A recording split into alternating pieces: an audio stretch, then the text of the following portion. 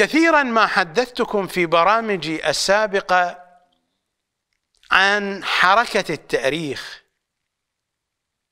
وعن سرعة حركة التأريخ ومن أننا إذا ما درسنا تأريخ البشرية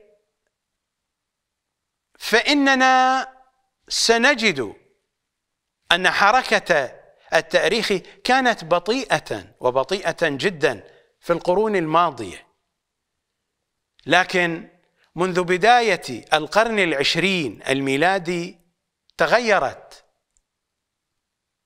حركة التاريخ. ودخلنا في عصر أشير إليه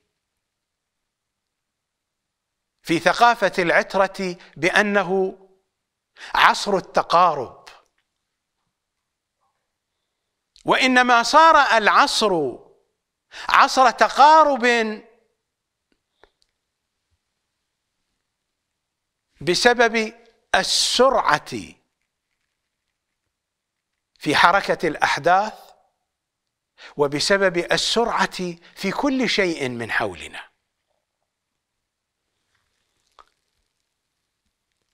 ومن هنا فإنني اثبتت أهم هذه الإرهاصات. اولا حين دخلنا في عصر السرعة يمكننا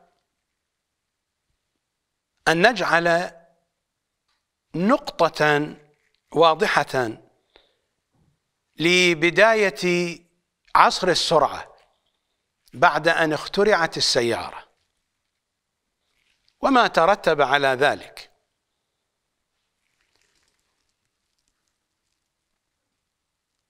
في بداية القرن العشرين نحن دخلنا في عصر السرعة. وأخذت هذه السرعة تزداد شيئا فشيئا إلى أن وصلنا إلى منتصف القرن العشرين بعد انتهاء الحرب العالمية الثانية. ويمكنكم أن تقارنوا بين التكنولوجيا التي كانت موجودة أيام الحرب العالمية الأولى والتي تطورت بعد ذلك في أيام الحرب العالمية الثانية.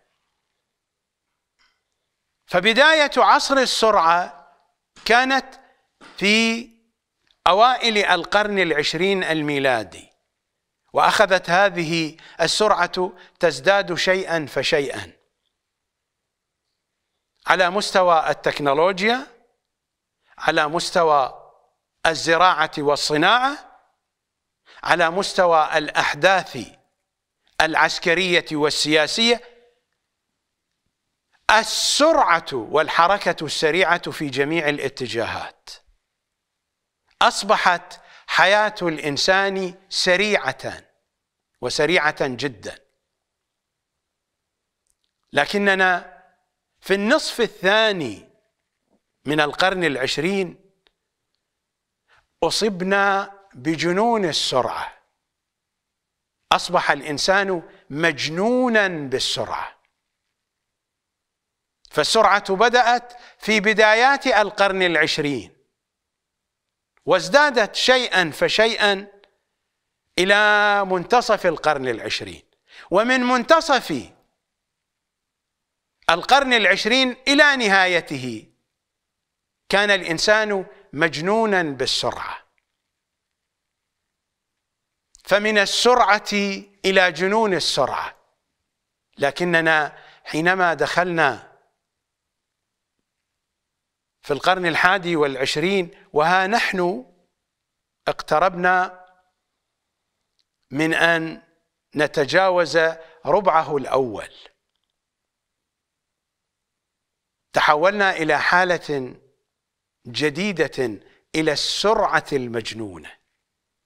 إذا كان الإنسان في النصف الثاني من القرن العشرين كان مجنونا بالسرعة أصبحت السرعة مجنونة. فإن جنون الإنسان تلاشى. أصبحت السرعة سرعة مجنونة. والأمر لا زال يتمادى ويتمادى. عصر السرعة وهو عصر التقارب. العالم تقارب. واقتربت الأجزاء البعيدة. واقترب الناس من بعضهم. واقتربت الشعوب من بعضها. بغض النظر أكانوا يقتربون على صفاء ووفاء أم أن الأمر لا يكون هكذا؟ إرهاص مهم لم يكن قد مر في تاريخ البشرية منذ أن عرفنا تاريخ البشرية. هذا الإرهاص يخبرنا أن الدنيا تغيرت وأننا مقبلون على شيء كبير. ولا زالت السرعة تتمادى وتتمادى. الإرهاص الثاني.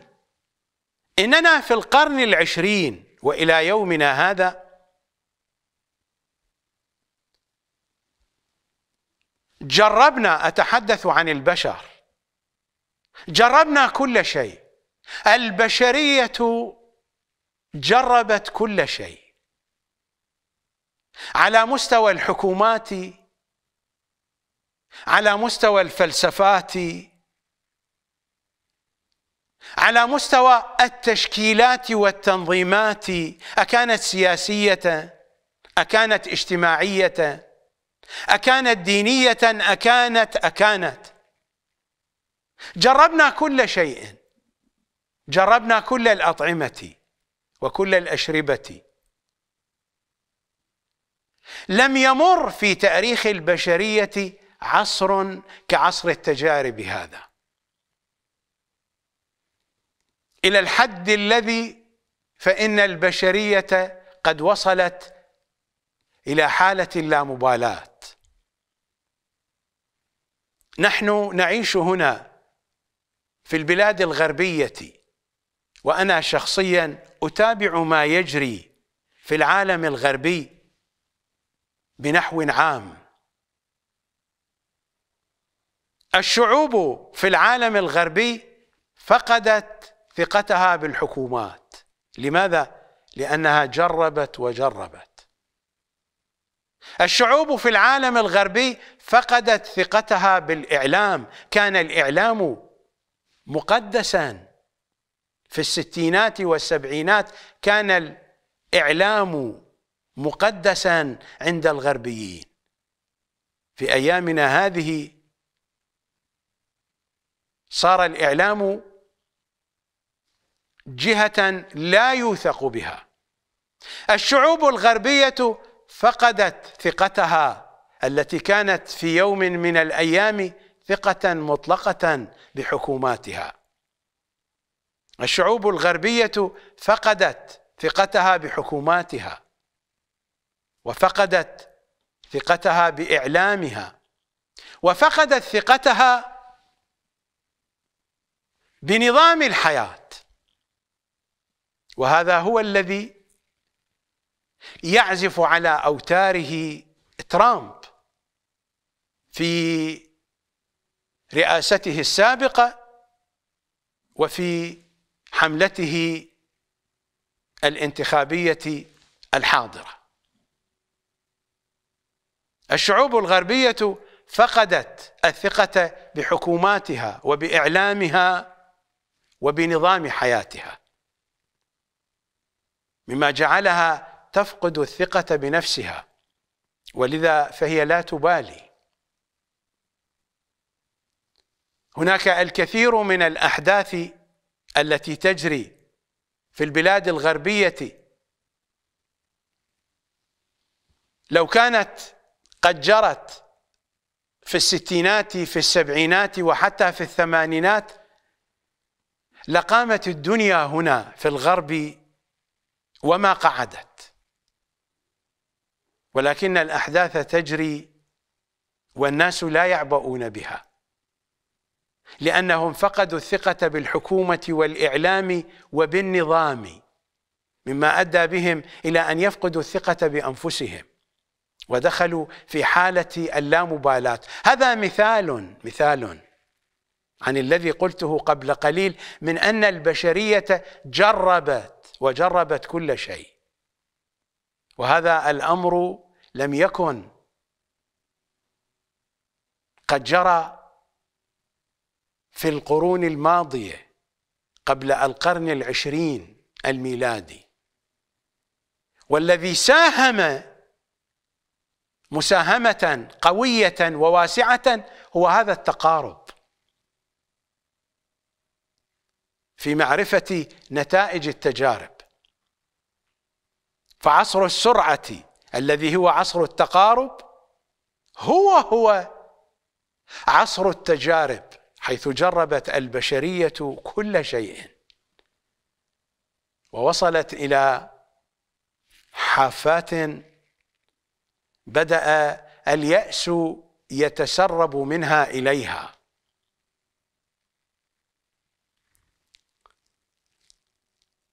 الإرهاص الثالث هيمنة منطق حق القوة. هناك قوة الحق وهناك منطق مبني على قوة الحق. هذا المنطق أصبح في عالم النسيان. المنطق الذي يحكم العالم هو المنطق الذي تبتني أسسه على حق القوة. الحق مع الأقوياء. وأدى هذا إلى ضياع الموازين. ولذا دائما الدول الضعيفة المجموعات الضعيفة حينما تنتقد الأقوياء يقولون من أنهم يكيلون بمكيالين. ضياع الموازين. وهذا الأمر يجري في جميع الاتجاهات في الاتجاهات العسكرية السياسية الاقتصادية الإعلامية والاجتماعية. هيمنة بهذا الشكل لم تكن قد مرت على البشر. لماذا؟ لأن البشر ما كانوا متقاربين كالتقارب الذي نعيشه في زماننا هذا. البشر كانوا أمما متفرقة وربما تعيش القبائل في جهة من جهات هذا العالم لا يعلم أحد عنها في الجهات الأخرى المختلفة من العالم نفسه. اذا الإرهاص الثالث هيمنة منطق حق القوة. الحق مع الأقوياء دائما. أما الضعفاء فترغم آنافهم. الإرهاص الرابع هيمنة الإعلام بكل أشكاله. الإعلام أشكاله كثيرة جدا. أنا لا أريد أن أخوض في التفاصيل لأن الخوض في التفاصيل سيجعلني محتاجا للعديد من الحلقات كي أتوغل في كل معطيات تلك التفاصيل. هيمنة الإعلام بكل أشكاله على العقل البشري الجمعي بنحو لم يسبق له مثيل. لم يكن في تاريخ البشرية شيء من الإعلام كالذي عندها في زماننا الحاضر. وهذا بدأ بالتدريج منذ بدايات القرن العشرين. تدرج شيئا فشيئا حتى وصلنا إلى إمبراطورية الإعلام العالمية المخيفة المرعبة.